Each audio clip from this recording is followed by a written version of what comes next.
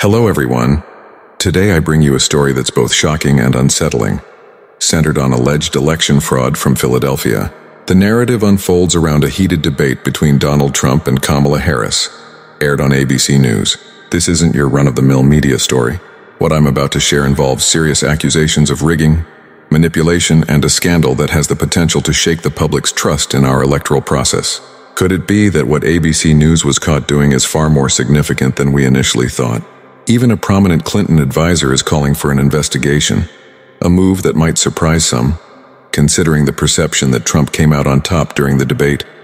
Across social media platforms, especially Twitter, and various news outlets, a narrative has been pushed that Kamala Harris won the debate by a significant margin. Some assert that any rational, intelligent person would agree that Harris was the clear victor. However, these claims seem to contradict not only what many Americans felt, but also what some data is showing. It's easy to dismiss Trump as narcissistic. After all, his critics often paint him as someone who can't handle negative press. But is there more to this than meets the eye? Let's delve into the facts, or at least what we know so far. Reuters conducted a focus group with undecided voters to discern who, if anyone, benefited from the debate. The results were quite telling. A whopping 60% of these undecided voters said they now plan to cast their ballot for Donald Trump, compared to only 30% leaning toward Kamala Harris, while the remaining 10% were still unsure. These voters, who were previously on the fence, appeared to lean heavily in Trump's favor following the debate. By simple arithmetic, Trump won by a large margin, 60% to 30%, that's double the support Harris received. Given these figures, it's hard to argue that Trump didn't win the debate. Trump himself was quick to point out what he perceived as bias in the debate's moderation. According to him, the moderators from ABC News were far too involved, often cutting him off or interrupting his points. Trump argued that he wasn't just up against Harris. He was battling three people on stage. His frustration was palpable. Following the debate, Trump remarked that when a prizefighter loses, the first thing they say is, I want a rematch. And in his view, this is exactly what Kamala Harris did. She reportedly asked for another debate almost immediately after the first one ended, a move Trump interprets as an admission of defeat. In Trump's words, the polls tell the real story. He beat Kamala Harris, as he decisively pointed out in the debate. Harris, he claimed, should spend more time reflecting on her actions over the past few years rather than trying to secure another debate. There won't be a third session, Trump declared, signaling his unwillingness to engage further unless absolutely necessary. Despite Trump's confidence, the real issue at hand may be the alleged behind-the-scenes manipulations orchestrated by ABC News. But before we delve further into these allegations, I want to hear from you in the comments. Type Trump if you think Donald Trump won the debate and Kamala if you believe Kamala Harris came out on top.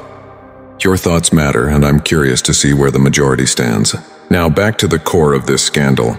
According to a whistleblower from within ABC News, Harris's campaign was provided with sample questions that ended up being the exact questions posed during the debate. Even more alarming, the whistleblower claims that Harris was given assurances that Donald Trump would be fact-checked during the debate, while she would not face the same scrutiny.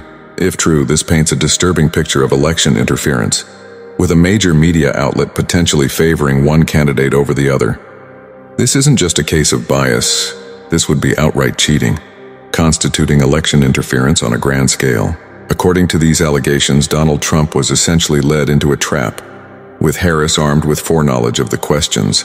Behind the scenes, there may have been a team crafting the debate questions specifically designed to provoke Trump, with carefully timed follow-up questions aimed at pushing him into defensive or angry responses.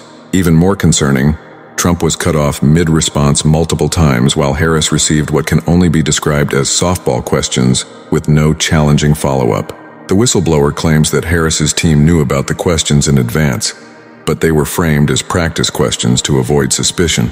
Yet these exact questions were posed by ABC moderators David Muir and Linsey Davis during the live debate. If true, this means Harris had a strategic advantage walking into the debate, fully prepared for what would be asked, while Trump faced a hostile and biased environment. Even more damning, the whistleblower alleges that Harris's campaign was given a guarantee that Trump would be fact-checked multiple times throughout the debate. And that's exactly what happened. Trump was fact-checked seven times, while Harris was fact-checked zero times despite making over 20 verifiable false statements. You can fact-check this for yourself. It's all out there. Harris wasn't challenged on these points, while Trump was repeatedly put on the defensive. If these allegations are true, ABC News has lost all credibility as an impartial news organization. This would amount to a rigging of the electoral process, with millions of Americans potentially being disenfranchised by a biased and corrupt media. People have the right to cast their vote based on fair and transparent information, not manipulated narratives or rigged debates. One of the most significant voices calling for accountability in this situation is Mark Penn, a former advisor to Bill Clinton. Penn has publicly stated that he believes these allegations warrant a formal investigation. According to him, the evidence he's seen and the people he's spoken to suggest that these claims may very well be true. Penn's call for an investigation lends significant weight to the accusations given his experience in political strategy and his long-standing ties to the Democratic Party. The whistleblower in question must be protected at all costs and encouraged to come forward, as this issue is monumental. If the allegations are true, it would mean that ABC News deliberately manipulated the debate process to favor Kamala Harris, essentially engaging in election interference. This isn't just a matter of unethical journalism. It's a direct attack on the integrity of our democracy. When a media outlet, which is supposed to serve as a neutral watchdog, actively skews debates to benefit a particular candidate, it compromises the very foundation of free elections. What we're talking about here isn't just bias or favoritism. It's systemic rigging that can alter public opinion, change the course of elections, and rob voters of a fair process. If ABC News has been feeding questions to Kamala Harris during debates, the question arises, what else are they doing behind the scenes? This shakes the public's already dwindling trust in major media institutions, which are supposed to inform, not manipulate.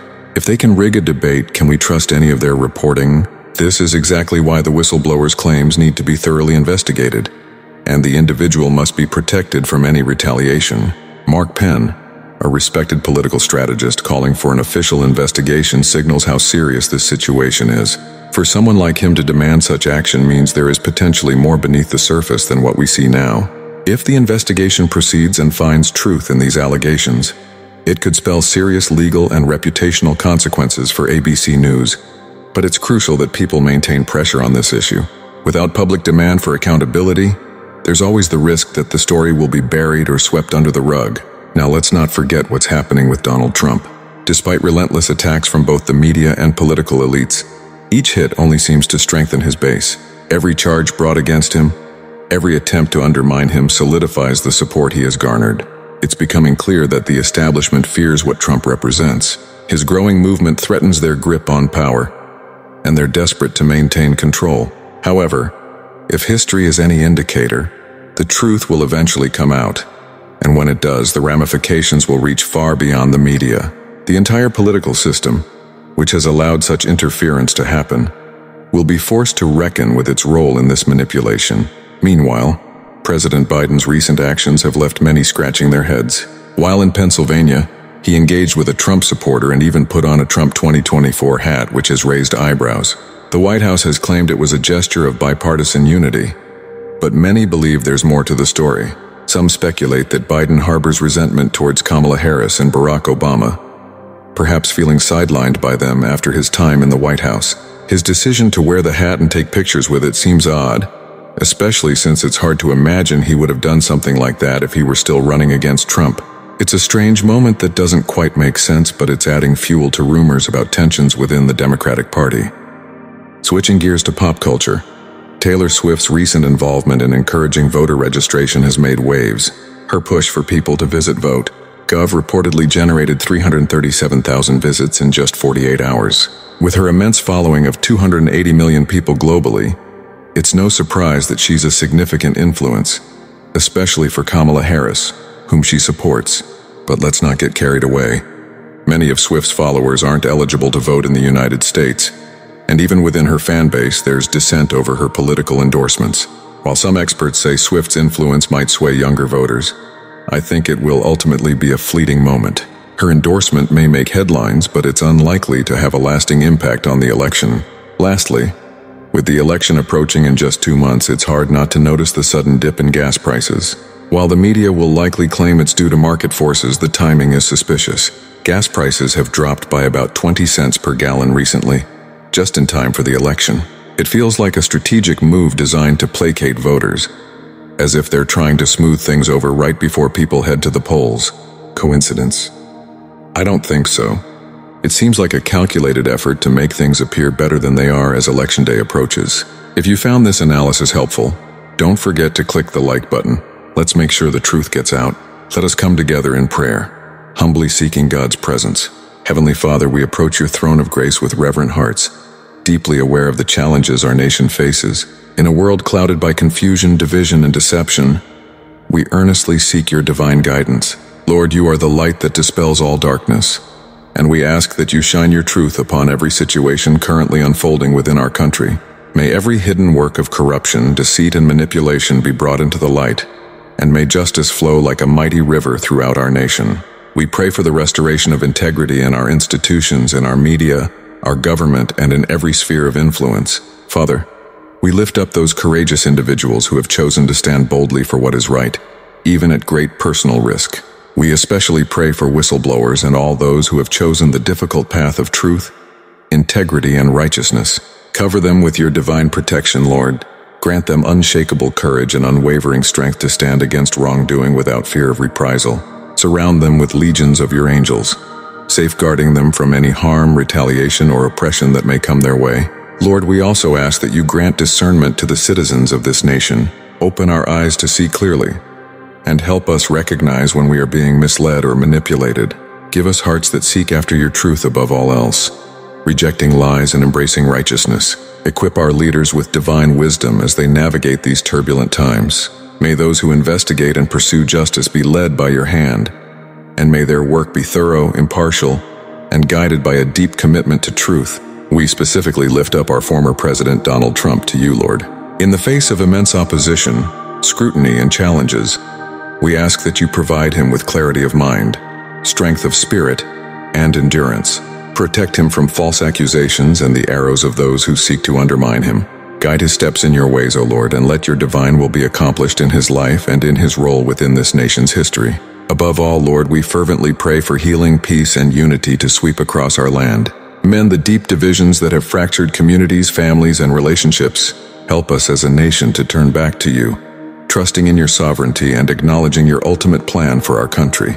In these uncertain times, may we find our hope, our security, and our direction in you alone. We lay all of this before you, trusting in your infinite wisdom and power. In the mighty and matchless name of Jesus we pray. Amen.